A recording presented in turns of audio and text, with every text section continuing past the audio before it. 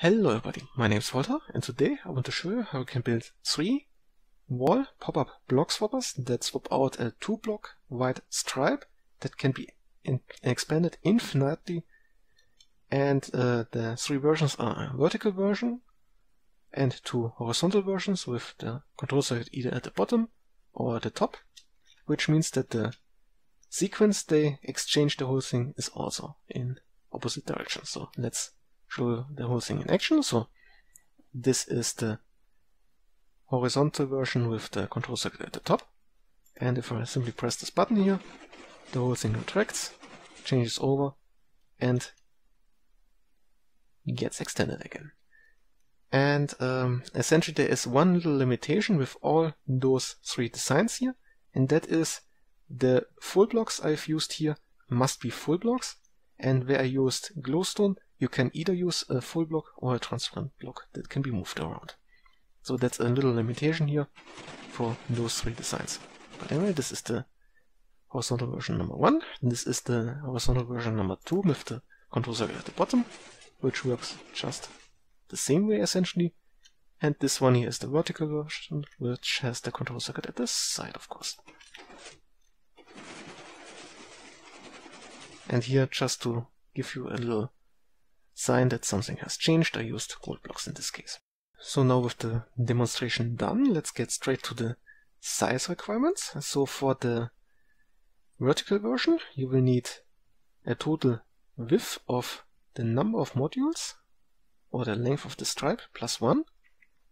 The depth is five blocks plus the one block at the front.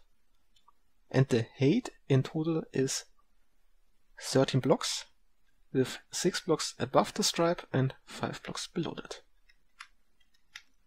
And for the horizontal versions, the size requirements are exactly the same. The only difference is in one the case we have the control circuit at the bottom and in the other at the top of course. So uh, what are those sizes?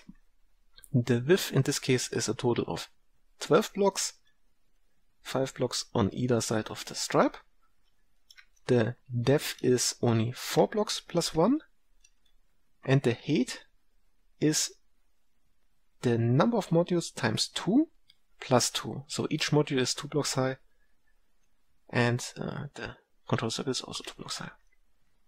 And that's basically all of the sizes. Now let's get straight to the required resources. Let's once more start with the vertical version. For this you will need for the control circuit a couple building blocks, then two redstone dust, two redstone repeaters, 12 observers, a normal piston, 4 sticky pistons and 7 hoppers, plus a wooden button, and you should make sure that you use a wooden button since the pulse of a stone button is too short.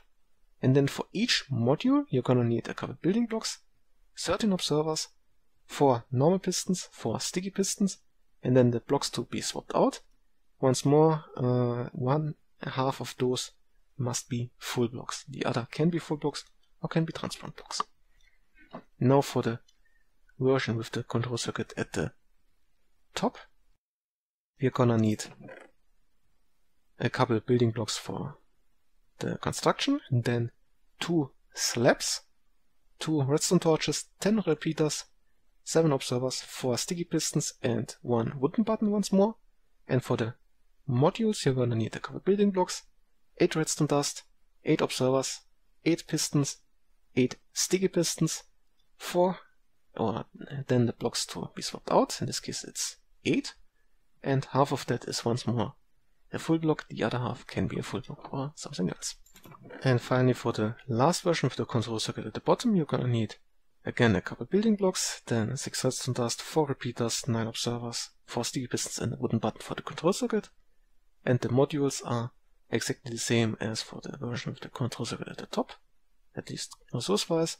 So that is again a couple building blocks, 8 redstone dust, 8 observers, 8 pistons, 8 sticky pistons, and then the blocks to be swapped out, half of which must be full blocks, and the other half can be pretty much any kind of block you want. And with that we have actually reached the point where it's time to show how to build those three block swappers here. Okay, so let's start with the vertical block swapper. For this, the first step is building two modules. The reason for the two modules is that the first module will be modified partially, and then you still have the second module to follow a certain pattern. But anyway, let's talk about that pattern. So let's say the position of the blocks that are getting swapped out is where those two blocks are. Then you go four blocks towards the back and start placing your two double piston extenders on top of each other. Then below the sticky pistons you have an observer chain which connects the various modules with an observer facing towards the front and a full block in front of it. Make sure this is a full block, otherwise this will not work. And since this is one of the blocks that get occasionally pushed towards the front here, uh, this limits a bit uh, the number of blocks you or the kind of blocks you can use in the front. The block below that can be any kind of block, since it's also part of the blocks that are getting swapped out. Uh, this here can be a full block or a transparent block like glowstone for example. Then below that you have another full block and then followed two normal pistons followed by another observer chain with an observer towards the bottom piston and then an observer facing upwards with a full block on top. And then you have the full uh, the five blocks to the front of the actual wall. So that's the bottom part. Now let's go at the top.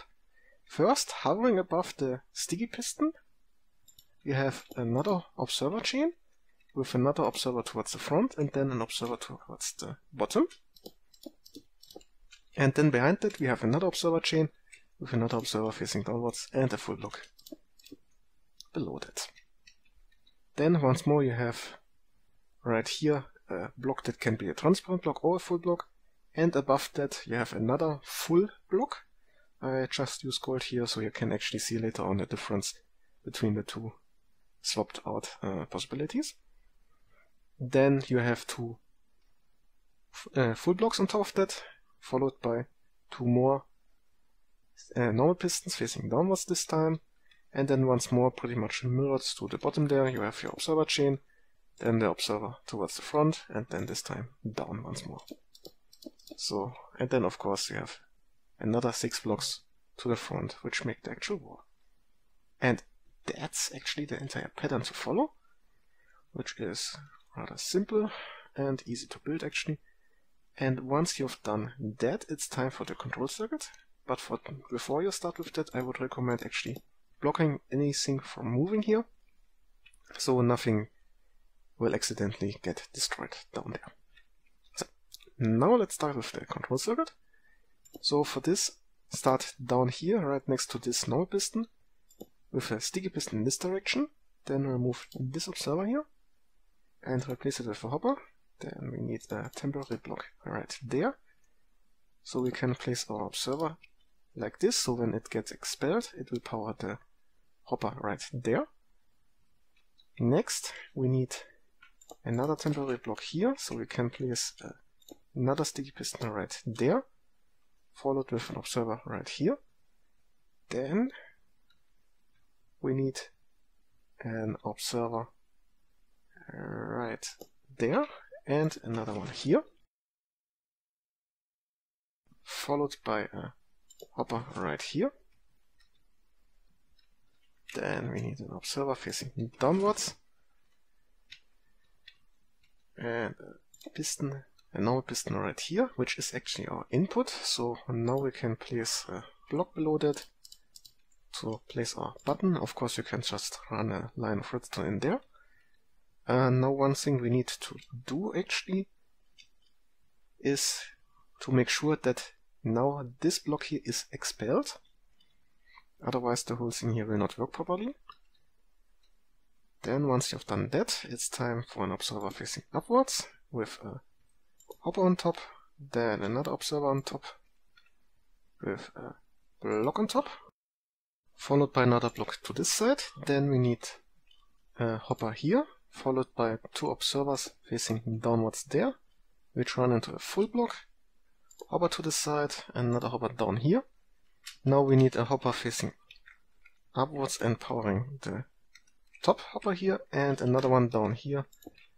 Come on, down there, which powers the bottom hopper. Like that. Then put down two redstone dust like that. Then two repeaters on 4 ticks each in this direction. Next an observer facing upwards here with a sticky piston on top. Then we need a observer expelled from that. A sticky piston facing upwards like this. Some redstone dust up there. And then we, sorry, uh, full block here. Then I place this one an observer with a hopper. And then, if this observer here is retracted, we need it to be expelled here, and vice versa. And that should actually be all, so let's give it a try. For now, just the first module. And that's looking good so far. Okay, now let's see if the second module works.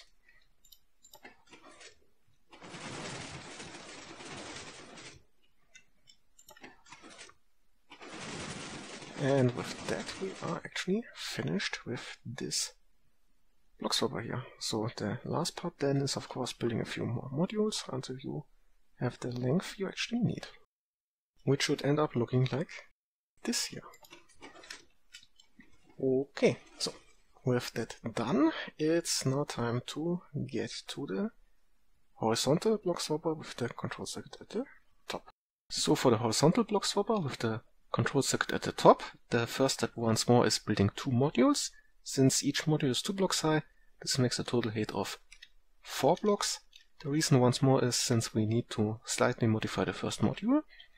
And, well, basically the layout is rather simple. Once more we start in relation to where the blocks that are getting swapped out end up. Go four blocks towards the back and start placing our double piston extenders. A 2x2 patch in this case. Then, if you go to the back here, you have right diagonally to the first sticky piston, a observer facing upwards and powering downwards with a piece of redstone dust below that, which then is on top of the observer of the next uh, module, or in this case right on top of a normal block. then diagonally of that you have the same concept of a observer redstone dust chain going downwards. The only addition is in this case this block on each module. Then the same thing is true and mirrored on the other side.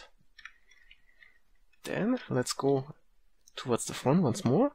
And diagonally of the sticky piston double extender you have a full block, followed by a block that can be a full block or a transparent block, and another full block.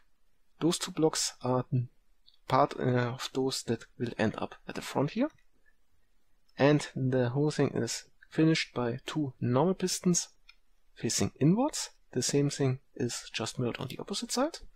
And to the front you have your five blocks of the wall, or 10 blocks if you go to high. Then at the back once more to power those normal pistons, you have two more observer chains, which are directly next or uh, directly, uh, directly to the first normal piston here, and next to the first normal block or full block to the front of the normal pistons. And the other side is exactly the same, just mirrored. And that's basically the pattern to follow for those modules here. And once you've built the first two modules, I would recommend once more blocking everything from moving accidentally, so you won't have to rebuild them later on. And with that, it's time for the control circuit. So for that, start with two blocks diagonally of the sticky pistons, then another two blocks like that. Now you must uh, decide which side you want the input to be on. In this case, I want this block to be our input, which means that we need two repeaters in this direction, then a torch on the sides of those blocks here, followed by a block here with a repeater on 3 ticks with the side with the input, and 1 tick on the side uh, of opposite of that. Then we need right in front of the repeater a sticky piston with a observer in this direction. Then we need uh, another sticky piston in this direction. Next we need to move this observer one block up and put a normal block at this position here. Remove this observer and place it with a block. Then we need an upside down slab, place it here, and a repeater on one tick in this direction. Now let's simply mirror this. The only difference is on the opposite side, this observer here must be expelled.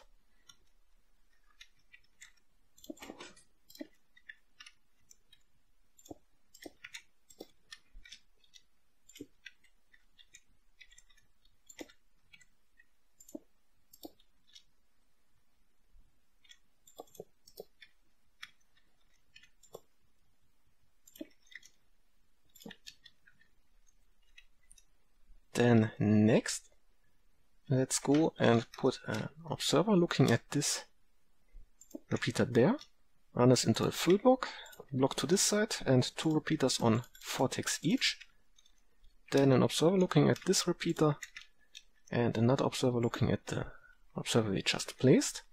Now we almost mirror this, so block here, repeater on 4 ticks, run this into another full block, then our second repeater on 4 ticks,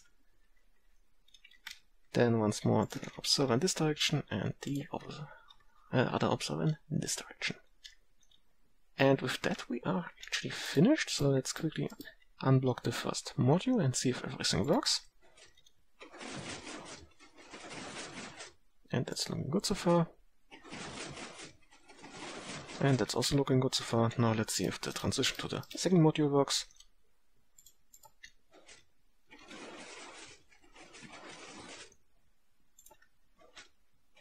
And that's looking good so far. So with that, the control circuit is done. And the last part then is, of course, building a few more modules if you need. And maybe filling in the rest of the wall. And you should be left with something like this here.